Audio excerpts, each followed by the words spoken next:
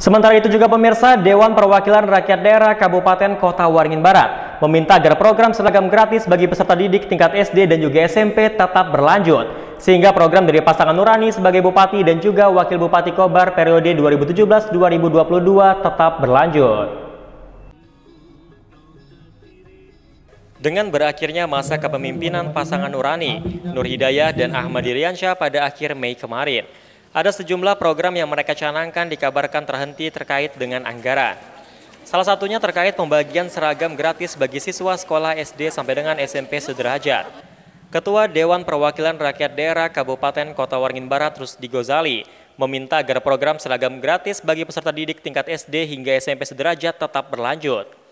Menurutnya program yang diluncurkan masa kepemimpinan pasangan Nurani tersebut sangat bagus dan memberikan manfaat yang begitu besar bagi masyarakat. Karena perlu kita ketahui bahwa pembagian seragam gratis ini pada awalnya memang diperuntukkan bagi peserta didik baru yang tidak mampu. Namun seiring waktu berjalan, atas kesepakatan bersama seragam gratis diperuntukkan bagi seluruh peserta didik baru tingkat SD, MI, dan SMP atau MTS.